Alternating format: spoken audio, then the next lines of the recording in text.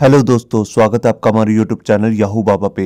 CSS के इस course में आप सीएसएस की एक नई प्रॉपर्टी सीखने वाले हैं, जिसका नाम है स्क्रॉल बिहेवियर आइए पहले मैं इसका आपको एक एग्जांपल दिखाता हूँ कि स्क्रॉल बिहेवियर को यूज़ करके हम कर क्या सकते हैं।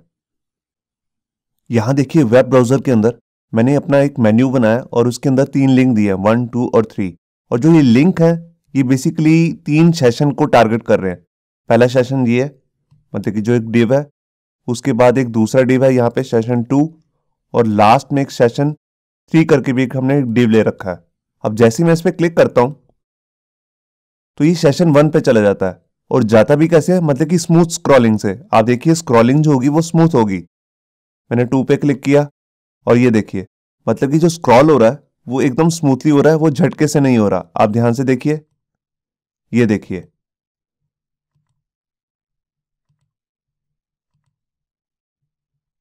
तो इस तरह की जो स्मूथ स्क्रॉलिंग है, अगर आप अपने पेज में लगाना चाहते हैं तो उसके लिए हमारे पास जो नई प्रॉपर्टी आई है, उसका नाम है स्क्रॉल बिहेवियर आइए पहले समझते हैं कि इसको हम यूज़ कैसे कर सकते हैं। देखिए, हमारे पास एस्टिमल के अंदर एक एंकर टैग होता है। और जैसा कि मैंने आपको अपने एस्टिमल के ट्यूटोरियल्स में बताया कि एंकर टैग से हम तीन तरीके के लिंक्स बना सकते हैं। एक होता है एक्सटर्नल लिंक एक होता है इंटरनल लिंक और एक होता है ईमेल लिंक अगर आपने वो वीडियो नहीं देखी है तो मैं ऊपर आई बटन पर उसका एक लिंक दे दूँगा, जहाँ से जाके आप ये देख सकते हैं कि हम एंकर टैग के ये तीनों लिंक्स कैसे यूज़ कर सकते हैं। तो यहाँ पर बेसिकली अगर हम स्क्रॉल बिहेवियर को यूज़ करना चाहते हैं तो आपको पेज में लगानी होगी इंटरनल पेज लिंकिंग और जो इंटरनल पेज लिंकिंग होती है, ये बेसिकली या तो पूरे डॉक्यूमेंट पे लगती है, या फिर हम पर्टिकुलर किसी एक डिप पे भी लगा सकते हैं, जहाँ पर हम डिप को ओवरफ्लो हिडन करके या स्क्रॉल लगाकर उसमें ओवरफ्लो डाटा को स्क्रॉल से देख सकते हैं.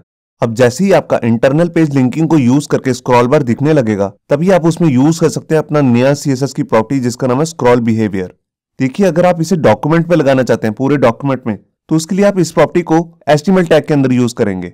और अगर आप पर्टिकुलर किसी एक डिप को स्क्रॉल बार लगा के उस पर स्मूथ स्क्रॉलिंग लगाना चाहते हैं तो उसके लिए आप जो ये प्रॉपर्टी है स्क्रॉल बिहेवियर इसको आप डिप टैग पे लगाएँगे।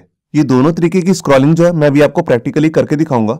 अब जो स्क्रॉल बिहेवियर है, इसके अंदर हमें वैल्यू क्या देनी होगी? इसके अंदर बेसिकली हमारे पास दो तरीके की वैल्यूज़ हैं।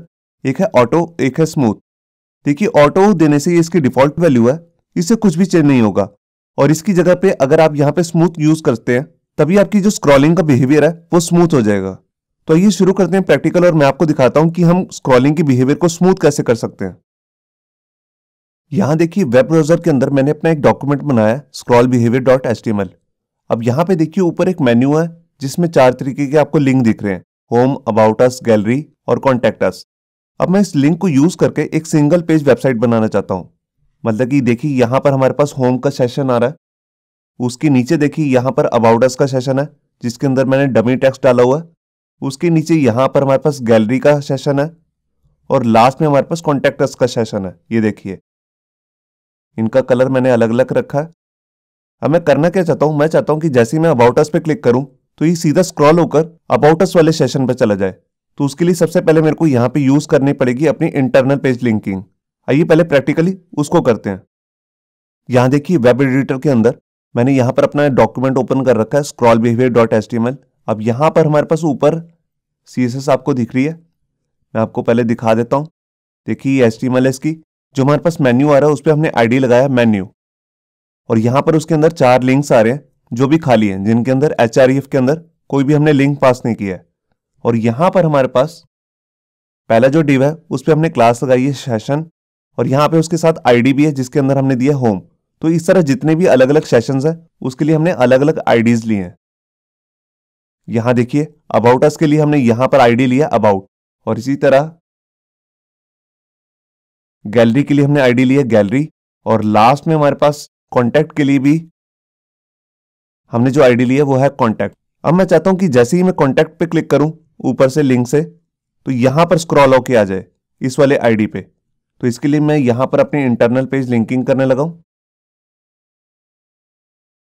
तो यहाँ पे जस्ट मेरे को आईडी पास करने हैं, क्योंकि हम इंटरनल पेज जब भी लिंक लगाते हैं तो यहाँ पर हैश लगाते हैं सबसे पहले।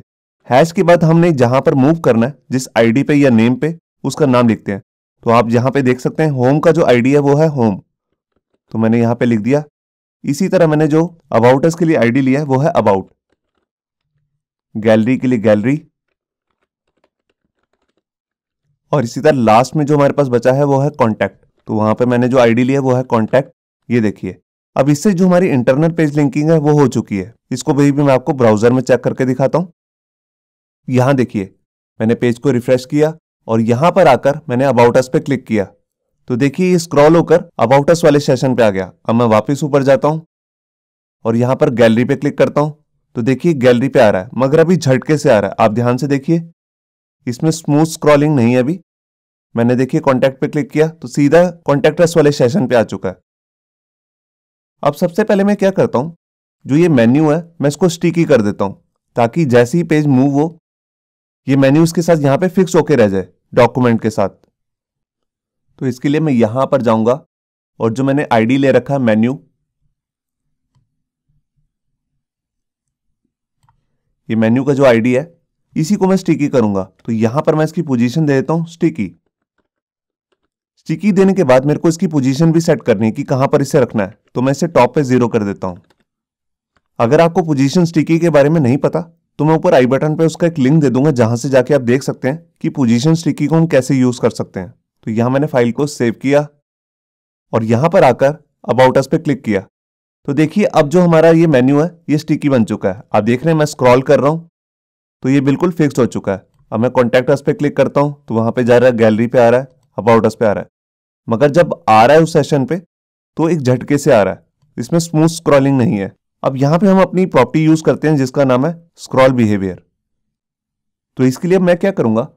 मेरे को यहाँ पर अपना सिलेक्टर लेना है एस इस बात का आपको ध्यान रखना है कि जब भी आप पूरे डॉक्यूमेंट पे स्क्रॉल बिहेवियर लगाना चाहते हैं तो आप इसको एस टैग के अंदर ही लगाएँगे। मतलब कि इसका सिलेक्टर बना के अब यहाँ पे मैं अपनी प्रॉपर्टी ले रहा हूँ स्क्रॉल बिहेवियर अब यहाँ पर देखिए, इसके अंदर दो वैल्यूज़ होती हैं, एक है ऑटो एक है स्मूथ तो आपको ऑटो नहीं लेनी है, क्योंकि वो तो डिफ़ॉल्ट प्रॉपर्टी है। यहाँ पे हम लेंगे स्मूथ ये देखिए, अब यहाँ पे मैंने फ़ाइल को सेव किया। और यहाँ आके देखिए, मैं अबाउट अस पे क्लिक करता हूँ। तो देखिए, अब जो हमारी स्क्रॉलिंग है, वो स्मूथ हो चुकी है। आपको पूरा पेज स्क्रॉल होता हुआ नज़र आएगा। ये देखिए ये काम हम इस प्रॉपर्टी से पहले भी कर सकते थे, मगर उसके लिए हमारे को जावास्क्रिप्ट या जे क्वेरी यूज़ करनी पड़ती थी। अब हमें इसके लिए किसी भी स्क्रिप्टिंग लैंग्वेज की ज़रूरत नहीं है, इस तरह की स्मूथ स्क्रॉलिंग करने के लिए। ये देखिए। तो आप देख रहे हैं कि कैसे पूरे डॉक्यूमेंट पे ये स्मूथ स्क्रॉलिंग लग चुकी है। इसका फ़ायदा तभी है जब आप सिंगल पेज वेबसाइट बनाने लगे। आजकल बहुत सारा ऐसा ट्रेंड चल पड़ा है कि सिंगल पेज वेबसाइट का तो वहाँ पर हम इसे इजिली यूज़ कर सकते हैं। अब मैं आपको दिखाता हूँ कि अगर आप पूरे डॉक्यूमेंट पे स्मूथ स्क्रॉलिंग नहीं चाहते, किसी एक डिप पे लगाना चाहते हैं तो उसके लिए आप क्या करेंगे? तो देखिए, इसके लिए मैं यहाँ पर अपने डॉक्यूमेंट में गया। जो ये पूरा हमने डॉक्यूमेंट बना रखा है, ये पूरा मेन्यू और इसके नीचे जो अलग अलग सेशंस आपको दिख रहे हैं, इन सबको मैं एक डिप में डाल देता हूँ। और इस डिप पे आईडी लगा देता हूँ स्क्रॉल डिप और इस डिप को सबसे नीचे जाके बंद कर देता हूँ।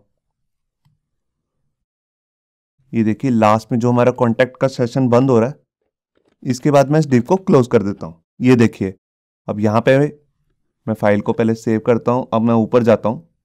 अब मुझे इसकी स्टाइलिंग भी करनी पड़ेगी, जो हमने ये डिव लिया है स्क्रॉल डिव तो यहाँ मैंने इसे कॉपी किया, अब मैं यहाँ पर जाके अपनी स्टाइलिंग में यहाँ पर इसका सिलेक्टर बना लेता हूँ।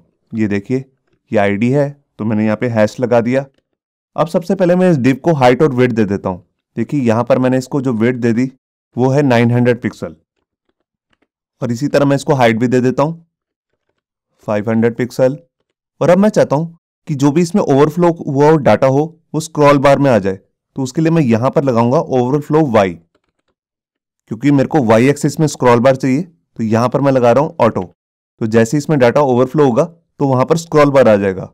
अब क्योंकि जो स्क्रॉल बार है, वो यहाँ पर डिप पे लगेगा मतलब कि स्क्रॉल डिप नाम के जो हमारा आईडी है, उस पर तो यहीं पर हमें प्रॉपर्टी यूज़ करनी है अपनी स्क्रॉल बिहेवियर स्मूथ ये देखिए तो यहाँ मैंने फ़ाइल को सेव किया, और यहाँ देखिए, ये हमारा जो डिव है, ये पूरा डिव बन चुका है, इसके अंदर ये मेन्यू भी आ रहा है, जो फिक्स्ड है, और यहाँ पे अलग अलग आपको सेशंस भी दिख रहे हैं। अब मैं इस पर क्लिक करता हूँ। ये देखिए, अब जो हमारी स्मूथ स्क्रॉलिंग है मतलब कि स्क्रॉल बिहेवियर है वो इस डिप पे भी वर्क कर रहा है। तो आपको यहाँ पे एक बात क्लियर होगी होगी कि अगर आप पूरे डॉक्यूमेंट पे लगाना चाहते हैं तो वहाँ पर आप एस का सिलेक्टर बनाएँगे और वहाँ पर हम इस प्रॉपर्टी को यूज़ करेंगे स्क्रॉल बिहेवियर और अगर आप किसी डिप पे काम कर रहे हैं और उसके अंदर स्मूथ स्क्रॉलिंग लगाना चाहते हैं तो उस डिप के अंदर आपको सबसे पहले इंटरनल लिंकिंग करनी है और उसके बाद उस डिप पर ही जो पेरेंट डिप है, वहीं पर आपको प्रॉपर्टी यूज़ करनी है स्क्रॉल बिहेवियर और इस प्रॉपर्टी से रिलेटेड एक इंपॉर्टेंट बात है जो मैं आपको बताना चाहता हूँ। यहाँ देखिए मैंने अपनी वेबसाइट ओपन की हुई है कैन आई यूज़ इसके अंदर यहाँ पे मैं आपको दिखा रहा हूँ स्क्रॉल बिहेवियर का कि इसको कौन कौन से ब्राउज़र सपोर्ट करते हैं। एट प्रेजेंट इसे सारे लेटेस्ट ब्राउज़र सपोर्ट कर रहे हैं। यहाँ देखिए एज का जो लेटेस्ट वर्जन है सेवेंटी नाइन वो भी इसे सपोर्ट कर रहा है। क्रोम के भी इसे सारे वर्जन सपोर्ट कर रहे हैं लगभग। फायरफॉक्स ओपेरा और यहाँ पे जो हमारे पास एंड्रॉयड के अंदर जो ब्राउजर्स आते हैं, देखिए वो भी लगभग सारे सपोर्ट कर रहे हैं। मगर यहाँ पे आपको बात ध्यान रखनी है, यहाँ पे अभी सफारी से सपोर्ट नहीं कर रहा है। इसका मतलब आईफोन पे या एप्पल के लैपटॉप्स हैं, उन पे ये अभी सपोर्ट नहीं दे रहा। जब मैं इस पर वीडियो बना रहा हूँ। और यहाँ पे इंटरनेट एक्सप्लोरर के किसी भी वर्जन पे इसकी कोई भी सपोर्ट नहीं है। तो इसको यूज़ करने से पहले आपको बस ये बात ध्यान रखनी है कि इसको सिर्फ़ लेटेस्ट ब्राउज़र अभी सपोर्ट कर रहे हैं। होप सो आपको ये हमारा वीडियो ट्यूटोरियल अच्छा लगा होगा। अगर अच्छा लगा है तो वीडियो को प्लीज़ लाइक करना मत भूलिए। अगर आप ऐसे ही रेगुलर अपडेट्स चाहते हैं तो हमारे चैनल याहू बाबा को सब्सक्राइब करना मत भूलिए। Thank you